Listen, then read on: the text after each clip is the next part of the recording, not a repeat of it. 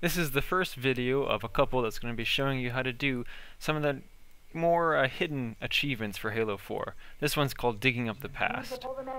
What we have to do is we have to find Master Chief's service records. They're hidden somewhere in this first mission. Seems Uh, like old times. It's right at the very beginning of the mission. You don't have to go thought searching never out the entire mission.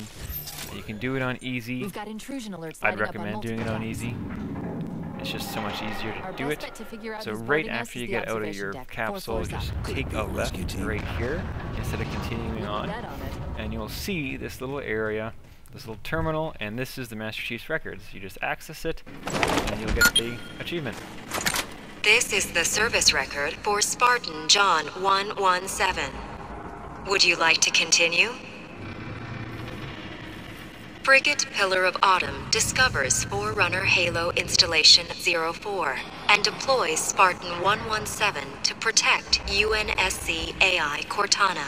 Chief uncovers a Covenant plot to fire the weapon and sacrifices the Autumn to destroy the Halo ring.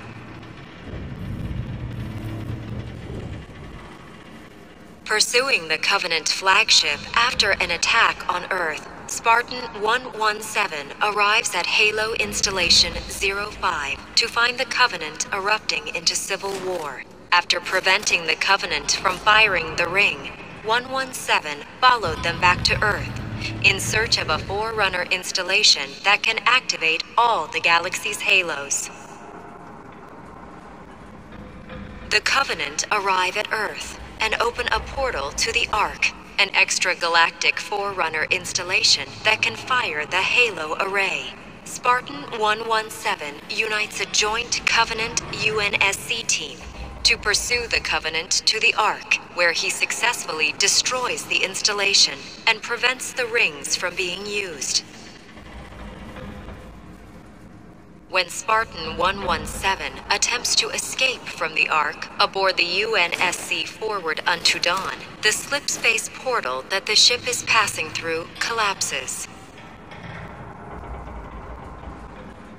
Aboard the aft section of the Dawn, Spartan 117 is placed into cryosleep, pending recovery by UNSC forces. AI Cortana to remain active as long as is technically feasible. End of service record. And that's everything. So that's the achievement.